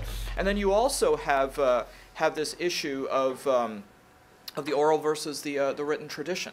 And, and you're talking about a fairly isolated area uh, geographically of the Arabian Peninsula. I mean, just to show you how isolated the Arabian Peninsula was, neither the Byzantine Empire nor the Sasanian Empire wanted to conquer it because if they conquered it, they would have then had to have dealt with the people. Uh, so it was, it was just a little bit too much for them to do in a cost benefit analysis.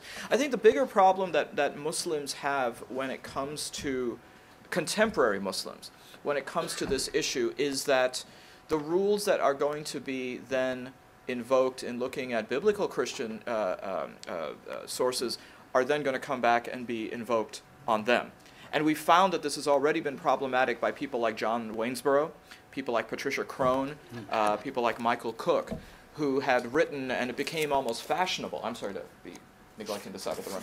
Uh, uh, it became fashionable at a certain time in scholarship to talk about uh, the fact that Muhammad did not exist when he did, where he did, and that Islam, if there is something called Islam, did not uh, originate in, say, Medina, but maybe 150 years uh, later, farther north in Damascus. Well, what this is implying then is uh, to say that uh, at that point there really is no Muhammad, or there's no need for a Muhammad. There is then no Quran as we understand it. It's something that is totally fabricated, and it's something that is uh, plagiarized once um, these Arabs make it up to Damascus, uh, implying that Damascus is more civilized because of the Byzantine uh, society. So that had to be walked back. And fortunately, the scholarship proved to be flimsy enough that it was, it was summarily attacked. But I got to tell you that for me, looking at those and taking offense as a Muslim uh, is, is not such a big deal. Because if I'm looking at it strictly as a Muslim, the faith issue is not going to shake me when it comes to these artificial methodologies of history. And that's how most Muslims will look at this issue. I would be deeply offended as a historian, though, if I see that there is a flimsy use of methodology, the same way that I have to concede that in the uh, in the end of the 19th century, in some of the finest academic journals of the time and in the Royal Society of Science, there were articles talking about the veracity, the probity, and the authenticity of craniometry as a way of determining biological science. That was considered to be methodologically sound. That was considered to have uh, all of the check marks when it came to uh, uh, scientific uh, know-how at the time. But it was scurrilous when it comes to its scholarship you see? So that's always going to be, I think, an endemic problem and a systemic problem.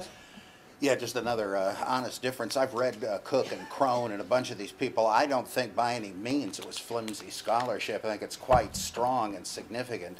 Uh, on the other hand, uh, I uh, think that the the uh, supposed reference to the Trinity as the Father, the Son, and the Virgin Mary, that may not really be what it's saying. The, the Quran shows awareness of intra-Christian debates at the time, and this may simply be a reference to uh, what Protestants would say that the Virgin Mary is being virtually deified, not that the doctrine, of, not that they thought the doctrine of the Trinity was uh, included her. Time for a couple more? Yes, front? Um, yes, I suspect Bob Price is almost completely correct because the question of contemporaneous evidence. There's no contemporaneous evidence of Jesus during his lifetime. In the next 20 years, there is no evidence. In the following 20 years, you have seven letters by Paul, the legitimate seven letters. So you've got to the year 70 before you have barely a shred of evidence that Jesus even existed. Then the Gospels start showing up, and these are from the years 70 to 100. So this makes no sense except in a kind of a contrived situation where somebody's creating a story for an ulterior motive rather than an actual historical Jesus. And I, to me, that's a key point which nobody's really talked about to this to this point. Yeah, when people say, "Well, Josephus mentioned him," well, you might as well open the Encyclopedia Britannica. Oh, there's an article about Jesus. I guess he existed. Uh, even if Josephus wrote the passage, which I think certainly he did not, that mentions Jesus, it's got to be a Christian interpolation given the content. It wouldn't matter anyway because the guy's writing decades too late. He's not an on-the-scene reporter. He's simply reflecting what Christians in his day said, as far as we know. Josephus was 93. Yeah. AD, So that, that was that was far too late. So we have, nothing, we have no. It's impossible to have no contemporaneous evidence if the Jesus story is true. It's, it's, it's Why not? virtually Why impossible. not? Why not? We have a lot of, uh, of historical characters uh, uh, uh, of whom we don't have contemporary evidence. It's not, uh, it's not exceptional. The situation of Jesus uh, is not exceptional. If we follow this criteria, we should cancel from our books of history the 90% of the characters in our books. Well, 90% of them aren't said to have changed water into wine, walked on water, flown into heaven yes, bodily. But, but nobody's saying that Jesus was changing water. I mean, there were miracle workers. I was not there. I don't know what he did. But I know that at the time of Jesus, there were people that were believed to be miracle workers. I mean, we have even today in, uh, in some societies people that are working as miracle workers. The fact that Jesus was considered a miracle worker That's the least part of the that story. does not that doesn't mean that Jesus what Jesus did were miracles. This is a different matter. Uh, so obviously, obviously, what, what bothers me a lot is that a lot of people that are studying the gospel are making these bold opinions, know nothing about the Second Temple Judaism, are not expert of Judaism. So you asked before, uh, uh, who are the authors you trust more? I say I, I trust more people that are specialists of Second Temple Judaism. Because, uh, of course, uh, you, you made the case of Superman. Superman, uh, according uh, to, the, to, the, to the comics, uh, to the cartoons, was born in the 30s, okay, if I remember correct. Okay, I don't have any evidence of other Superman in the 30s. So the, the, the character is completely misplayed about, uh, uh, in comparison with everything I know about the 30s. But if I'm a specialist in Second Temple Judaism, in first century Judaism, and I study the literature of the period, the book of the parables, uh, of, of Enoch, the book of Jubilees, all the literature produced at the time, etc. Not only the Gospels, reading the, what are the ideas that were discussed at the time.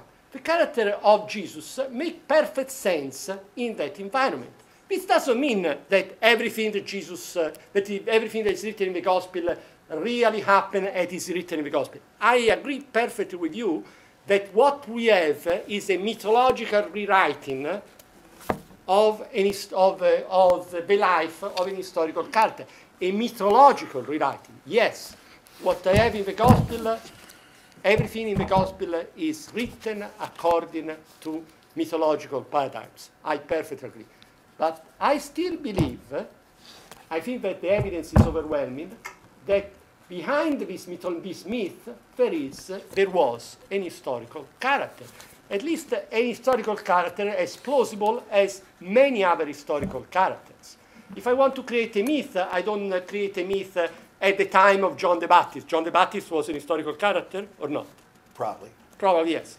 Uh, Caiaphas was an historical character. Pontius Pilate was an historical character. So they located this character exactly in a certain time. Okay?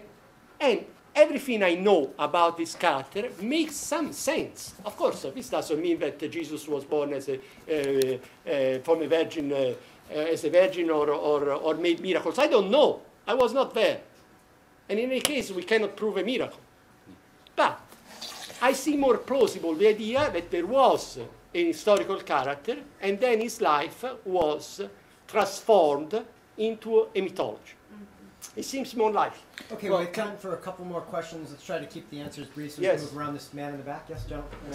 Yes, well, um, logically speaking, I really can't see why there has to be a difference between a historical Jesus and a mythological Jesus. Like, I mean, the way I think of it is that if God exists, then he can do anything, and if he can do anything, Jesus can perform miracles and stuff. So I see it as that it can be historically accurate and mythical at the same time, but it doesn't have to necessarily be, we don't have to exactly have evidence for everything, but it could have actually, literally, factually happened. But So like God could do anything, does that mean he's done everything everybody ever claimed he did? I mean, if miracles are possible, legends and myths are still possible. So it's not like saying, well, if miracles can happen, then I'll sign on for the whole thing. There's no way to know. I mean, you have to look at evidence in every case. Uh, and uh, that, that just opens the question, it doesn't close it. Anything could have happened, but the historian wants to know what likely happened. And without a time machine, you can just weigh the evidence and come down to provisional conclusions. Over here? Yes. Uh, I have a question more about the motivation of the early Christian movement. Um, I guess in particular when it comes to perpetuating the message of the resurrection. I guess I'm just wondering what was, obviously there was a cost to continuing this message early on, um, in those first decades. Not necessarily. It, the, uh, the devotees of other dying and rising saviors weren't persecuted for it. Uh, and when early Christians, not quite the earliest ones we know of, were put to death, uh, it's really a, a modern myth to say that, uh, that they must have really known that Jesus rose from the dead or they wouldn't have given their lives for it. That doesn't follow. They must have believed it. But that's no evidence about what happened. Yeah, I'm not, I'm not arguing that. I'm just asking, what is the motivation? What's the advantage, for instance, Uh, well, Paul uh, to write the letters? What does that gain him, especially considering his. Well, they, they believed all this stuff, it, just like Mithraists believed uh, that Mithras slew the cosmic bull to renew the cosmos, and various other ones. They, they certainly believed it, but that's it's a whole different issue as to where those beliefs came from, and it's very difficult to tell. This gentleman here, yes. Um, thank you for my son inviting me. It's been 30-some years since I've been in a college classroom. and I um, compliment all the panelists and you for monitoring. So now you've fallen off the wagon. No, but I have a simple yes/no question for each one of the panelists. And the question has to do is, this is all based on historical. Let's go before Jesus. Let's go back to the time of Cro-Magnon man. A lot of your discussions start with Adam, the early Testament. The question that I have is simply yes or no. How do each of you feel believe in natural evolution? That man started as Cro-Magnon man, and what your beliefs teach you. Because if you look at Adam in the First Testament, it's a little contradiction. Natural evolution. in, I mean, evolution is not a matter of belief, it is science. Do you believe in science? Yes or no? Obviously, I mean, I, I, yes. Okay. Well, I mean, I mean, it's not a matter of believing. You don't believe in science. But You don't believe in in science. I mean, you don't science. The Bible is not a book of science. Okay. So, uh, so it's not a matter of believing. uh, It's not that I believe in science, uh, in evolution, and you believe in creationism, and these are two beliefs. No, I mean, science is one thing, religion is another. Science, if I want to know how the, the universe uh, was born, I ask scientists. Okay? So you would say yes? Yes. Oh, yeah, definitely. Accept evolution. General Yes. Saeed, do you want to take a stab at that, or quickly? Yes? Do you want to have a comment at that? Uh, yeah, I do have a comment. Um, I was going to say earlier, and I, this um, um, question raised it um, uh, explicitly, and that is that historical criticism of the Bible, the heartland of historical criticism is Germany, and the motivation of the historical critics, and I take Albert Schweitzer as the famous, you know, example, and the quest for the historical Jesus, 1903, was to save Christianity. It was not to destroy Christianity, it was to save Christianity for the modern scientific world. Science was presupposed to be true.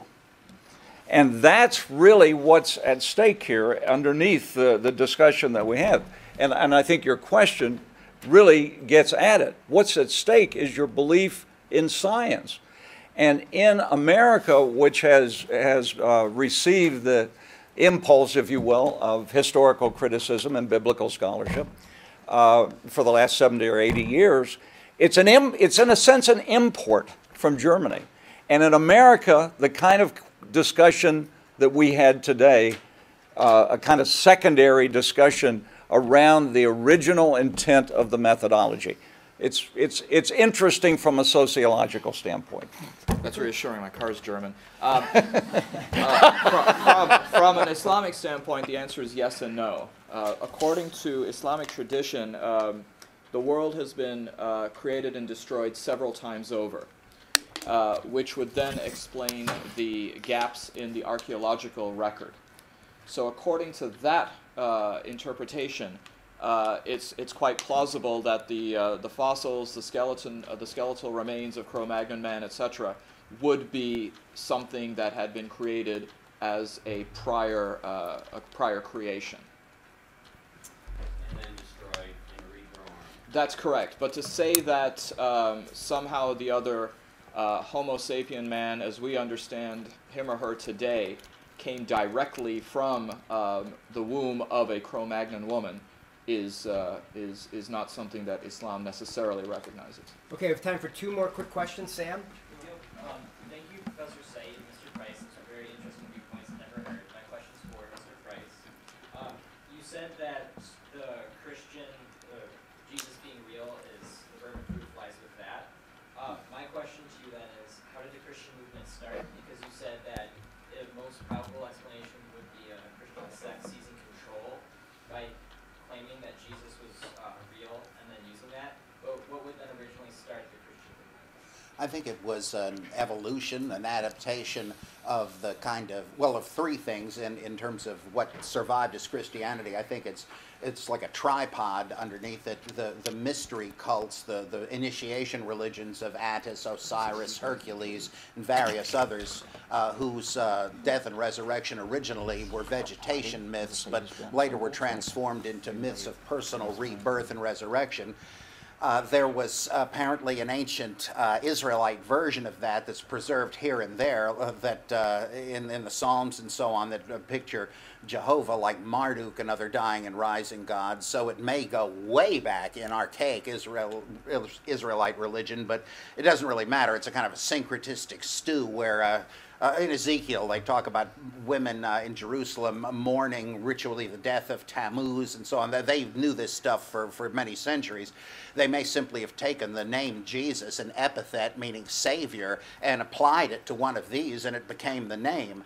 Uh, secondly, there was Gnosticism, which I think was a pre Christian development, the belief that the world was fallen and evil, and that uh, the unknown Father sent a Redeemer and a Revealer, kind of like Morpheus in the Matrix, uh, to gather the sparks of the divine.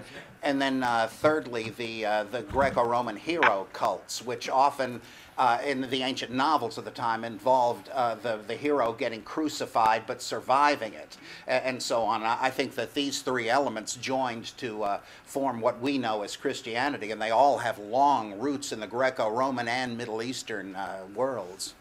In front here, yeah, last question. I've got to get uh, Dr. Price back to the airport. Well, Morpheus Dr. is the Price revealer. and um, the gentleman on the end whose name is momentarily escaping, Gabriel. saying, how, how could, but I, I guess I'd like the opinion as to how, whether uh, Dr. Price's idea has any plausibility in a first century Jewish setting, or Second Temple Judaism, in terms of the arising of a uh, religion within uh, a Jewish environment, as uh, I think everyone would agree Christianity did arise. Maybe, maybe not. It might have started in Alexandria. That's been argued by some for a long time. But then, what, what, it was clearly accepted within Jewish, within some portion of the Jewish community. So I'm just asking for, uh, Well, let me just give one uh, example I think is important.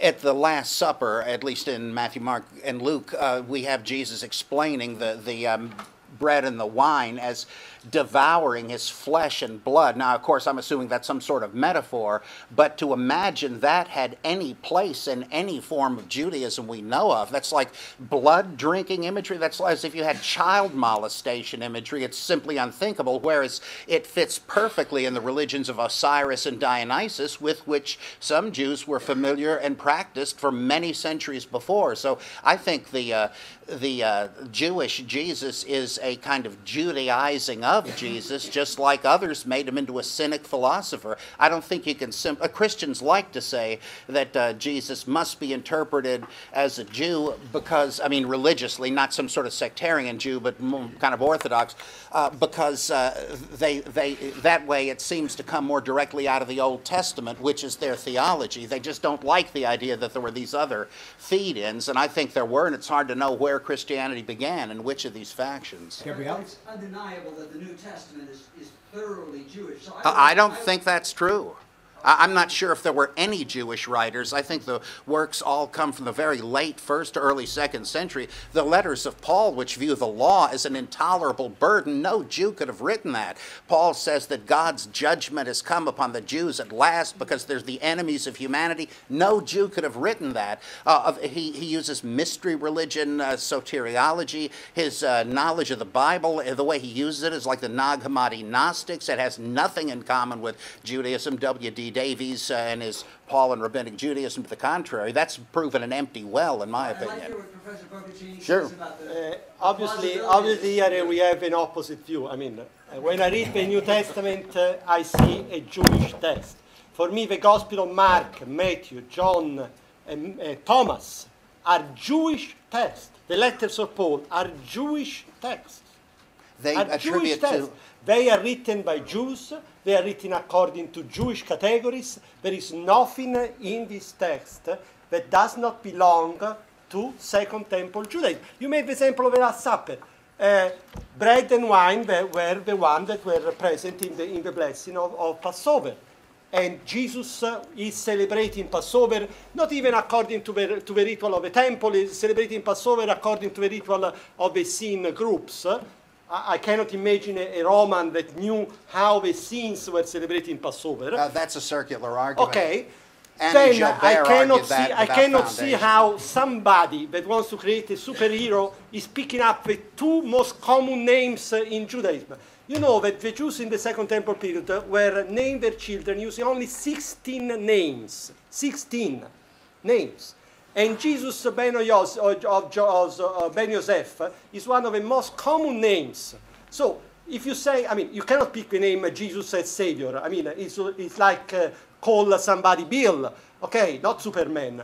Uh, if, you, if, you study, if you study Greek, uh, Jewish, uh, Hebrew epigraphy, you know that the most common combination of names uh, you have uh, in, uh, in the tombs uh, in the Second Temple is Joshua and Joseph. I mean, uh, there was, uh, there was uh, when, two years ago, this documentary, The Tomb of Jesus, we found Jesus, uh, Joshua ben Yosef, this is the tomb of Jesus. I mean, you go to the museum, uh, the Hebrew, the Israel Museum in Jerusalem, uh, you go in, uh, in, the, in the cellar and you see hundreds and hundreds of, uh, uh, uh, of these tombs, of these boxes containing, okay, ossuaries, sorry, ossuaries with the writing of Joshua ben Yosef. I mean, it's not that we have uh, 100 Jesuses. Uh, so I think that uh, the idea of a son of man, the idea of end of times, the kingdom of God, these are not ideas that were popular in Hellenistic, uh, uh, in, in Hellenistic environment. These are ideas that were popular in Jewish apocalyptic circles. So I, I, I, I think, okay, this is a legitimate conversation. I like it very much because uh, when we have different opinions, uh, it's very lively. And, uh, but, uh, but I don't agree on the fact that this is not, uh, this is not compatible with what we know from Judaism. I'm a specialist of Judaism. These are Jewish texts. I don't see anything in this text uh, that contradicts what I know about the second temple, first century Judaism. I repeat, this does not mean that everything that is written in, uh, in the gospel is accurate. This doesn't mean that one thing is, is accurate, everything is, is not. And I perfectly agree with you that what we have is a story that is rewritten in a mythological form. That's true. All right, well, I have to get Dr. Price to the airport, so let's leave it there. If people want to carry on, uh, uh, this room is open till 7 o'clock. Thank you very much. Give our speakers a warm welcome.